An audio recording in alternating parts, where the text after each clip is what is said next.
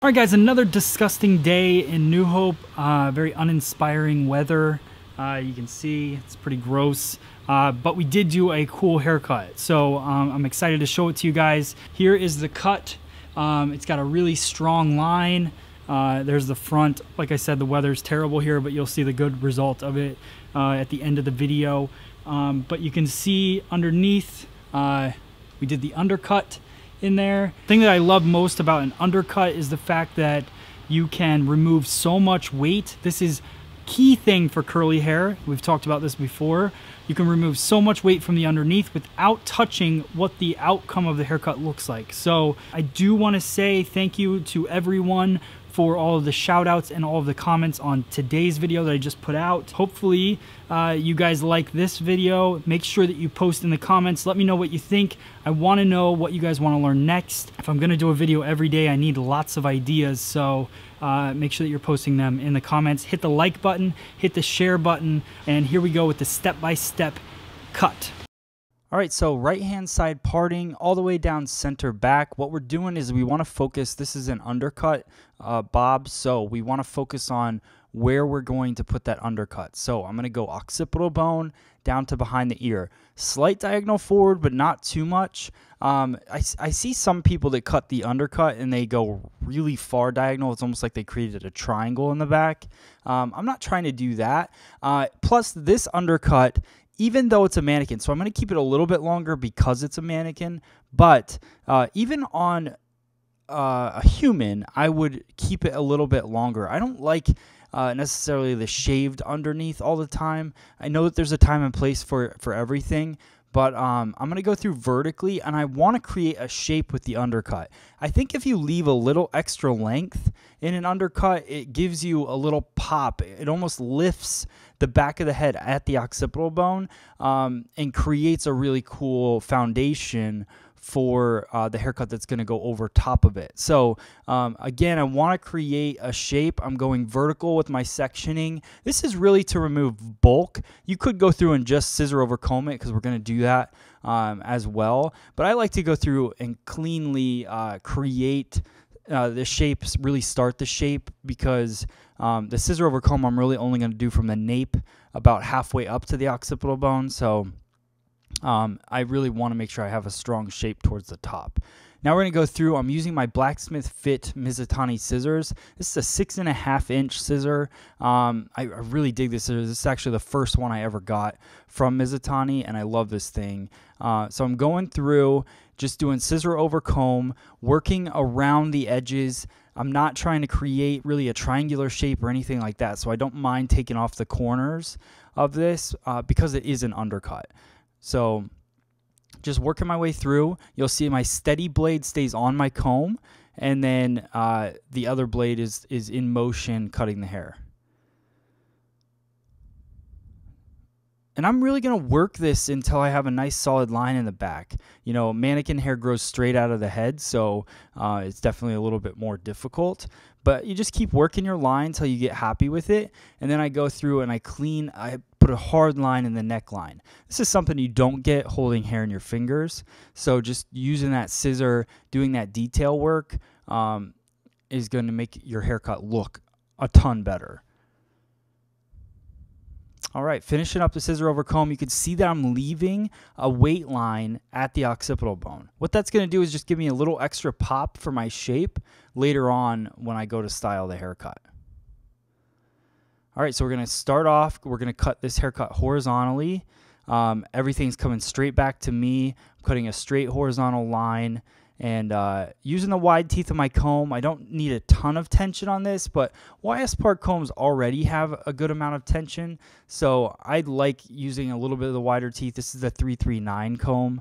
Um, and like I said, it has enough tension already. So working through, over directing everything back towards me and creating just a really nice one length solid line in the haircut. What this is going to do is giving me a slight over direction. You can see how it starts to pop forward. It's just because I'm pulling everything back to myself. So no matter what, when you pull something away from where it lives, it's going to end up longer when it drops down.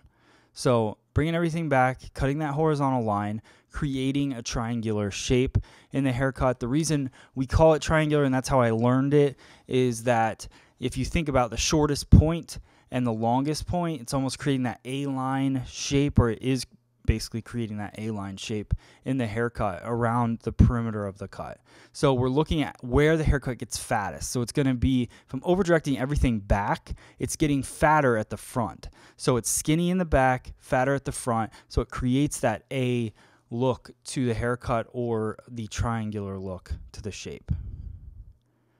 So bringing everything back, I'm not over directing it up and back. So I want to keep, again, that strong line around the perimeter of the haircut. So I'm just over directing it slightly um, to get that weight to push forward, but not elevating it.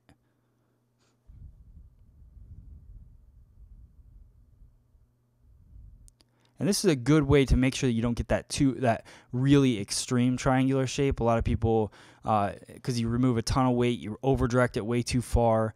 Um, so if you're not going for that look, you're just looking for a soft, subtle uh, shape to kind of hug the chin of your guest. This is a great way to do that. So we're finishing up. You can see that right along the parietal ridge, I did section away the top. Um, I don't really love to over direct the top the entire time. So what I'm going to do is actually, now that I've finished the base of my wet cut, I'm going to let the top fall over. I'm going to blow it dry with some Bricato Active um, oil and or serum and go through just flat wrap it and then I'm going to do dry cutting on the entire top of the head. So I think there's a time and place for everything, and I think that dry cutting to me um, sometimes is really great um, to not even cut the top and just go through and clean it up that way. So once I get the hair smoothed out, I go through and I do an extra blow dry, and I feel like that just kind of gives it uh, life again. Um, and a little bit more movement to the hair. So we're going to go through with our tease cutting technique. This one I'm taking vertical sections and I'm going through and just uh, tease cutting the hair. So what tease cutting is, if you guys haven't been following along, this is your first video. Um, tease cutting is a half close of the scissor. You're pushing um, the hair. So I find my guide, which is all the hair falling out, so that keeps my strong line. And then I'm just softening the top layer. So I'm going through half close, pushing the hair and cutting it. So the more you close the scissor, the more you'll cut. Uh, you can see there's my guide and I'm just going to go through and I'm going to remove all of this bulk. Could you point cut this? Yes, you could definitely go through and do some point cutting if you want to. I just really love the tease cutting technique. It's quick and uh, the result is very effective. So we're flying through. This is my Mizutani Puffin. So this is my dry cutting scissor. So I started off with a wet cutting scissor, the Blacksmith Fit, which I really love. And a lot of people ask me what scissor to get while they're in school. That is definitely the scissor. Uh, this is the Blacksmith Fit Puffin, which is a dry cutting scissor, has a lot of smooth feel. Um, to the cut when you're cutting dry hair. It's specifically made for dry hair uh, and it works really well. So we're going to use the same scissor to go through here and we're just going to clean up the baseline of the haircut. So the outer perimeter of the haircut, this is where all the detail work comes in. We did cut all those hard lines in the wet cut, so it's pretty simple once we get to this point. But we're just going to use the tip of the scissor, go through, and uh, just little by little carve out that line and define that line that we've created in the wet cut. So just you just want to use the tip. You don't want to go in trying to use the full scissor. That's going to push too much hair. But just going through, the tip will not push the hair and it'll allow you to draw that really straight, perfect line in the haircut. So, a few key factors I want to break down with this cut today uh, and definitely challenge you guys to try in the salon. The undercut is not going anywhere. It definitely makes your haircuts look more modern and more uh, user friendly for your guests to blow dry at home. So, it's going to allow a more sleek shape, which you can see here leaving that top and not cutting it in the wet cut, cutting it only in the dry. I hope you guys like that tip. Um, try that out in the salon. It works really well.